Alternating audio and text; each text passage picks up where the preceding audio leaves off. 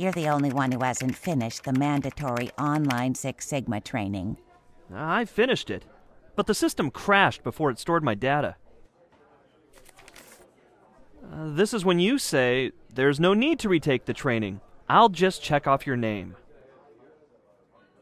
Are you new on this planet? Can I work from home? There are too many distractions in the office.